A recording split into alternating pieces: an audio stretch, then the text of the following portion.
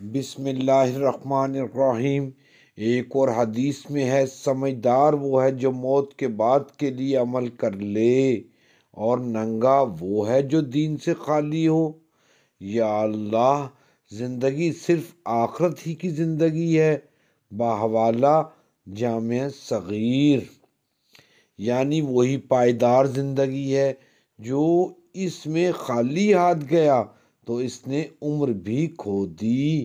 یہاں یہ سمجھ لینا چاہیے کہ حق تعالی شانہ کی رحمت اور مغفرت کا امیدوار ہونا اور اس کی تمنا کرنا اور اس کو اللہ تعالی شانہ سے مانگنا دوسری چیز ہے اور اس کی رحمت اور مغفرت کے گھمنڈ پر غرور اور یہ گمان کے میں جو چاہے کرتا رہوں، میری مغفرت تو ہو ہی جائے گی۔